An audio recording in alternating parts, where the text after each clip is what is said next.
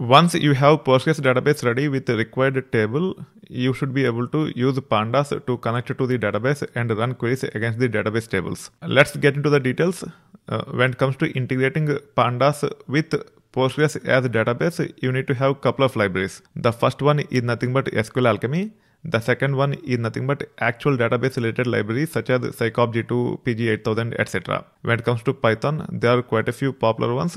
One of the prominent ones is nothing but PG8000 while PG8000 serves the purpose of connecting to the database, SQL Alchemy will provide abstraction layer to connect to the underlying databases. No matter which database you wanted to connect to using pandas, we typically follow this process. We will install SQL Alchemy, then we install the underlying database library, then we are good to go.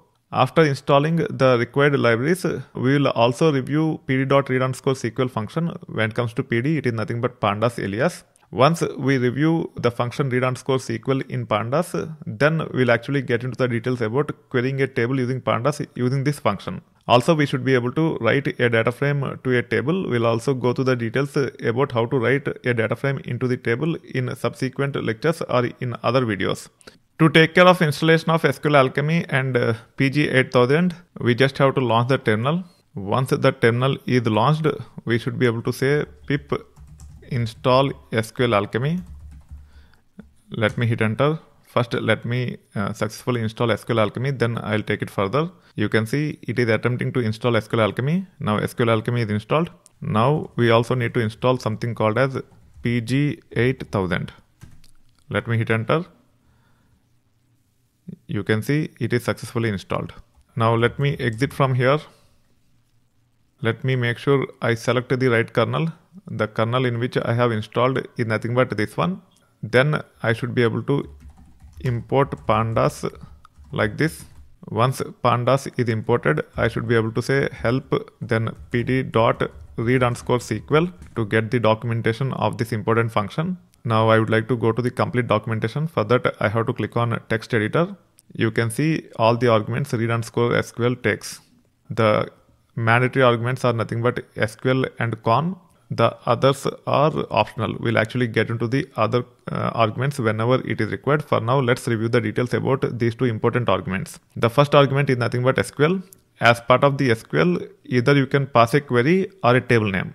Then when it comes to the second argument, it is nothing but con, which stands for connection. You should be able to follow SQL Alchemy syntax and provide the connection details. Once you come up with the required code, you will understand what I'm talking about here. So we need to pass two mandatory arguments. One is nothing but SQL and the second one is nothing but connection. Now let's go here. Let's say pd dot read underscore SQL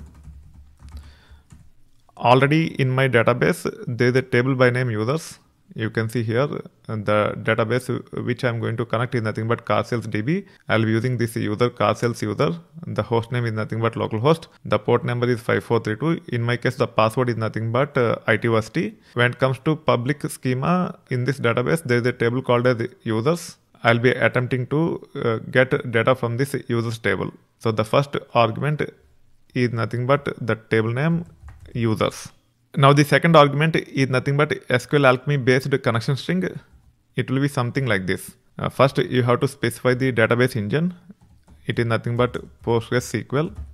Then plus then the library which we are going to use to connect to underlying database. In our case it is nothing but PG8000.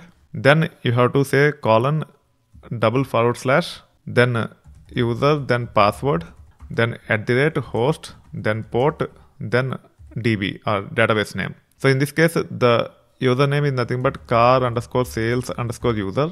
The password uh, which I have used to set up this user is nothing but ITversity. The host is nothing but localhost because the database is running on the same machine where we are trying to run this Python code. When it comes to port number, it is nothing but 5432.